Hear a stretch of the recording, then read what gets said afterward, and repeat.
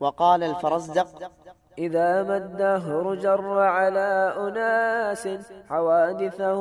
أناخ بآخرين فقل للشامتين بنا أفيقوا سيلقى الشامتون كما لقينا